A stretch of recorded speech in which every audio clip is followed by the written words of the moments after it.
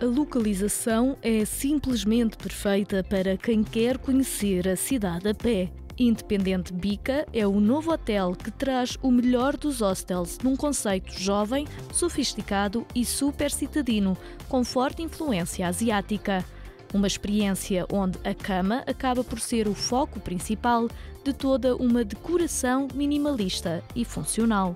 É engraçado porque as primeiras guest houses no mundo nasceram mesmo no Japão, chamam-se ryokans, e no fundo queremos constantemente desafiar o próprio setor, desafiar-nos a nós em primeiro lugar e depois o próprio setor a fazermos coisas que sejam diferentes, que criem uh, ruptura com o passado, que, que, tragam criatividade e inovação um, ao setor.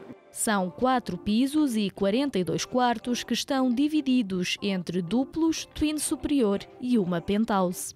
Nós temos a tipologia mais repetida, mais standard, que é aquela que falávamos e descrevíamos da funcionalidade e do minimalismo nipónico conjugado com as cores e com a arquitetura lisboeta. Temos mais quatro tipologias em que trazemos, algumas delas trazemos um hostel para dentro do hotel, como é o caso do Friends and Family, que dá até seis pessoas.